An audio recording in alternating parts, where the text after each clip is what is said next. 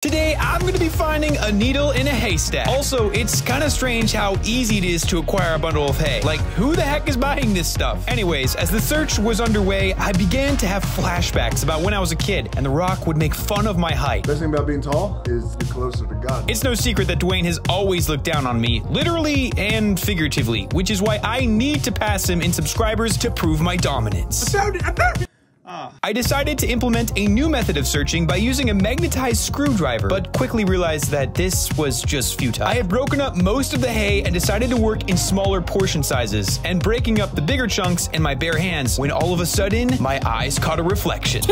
If you like this video, watch another one.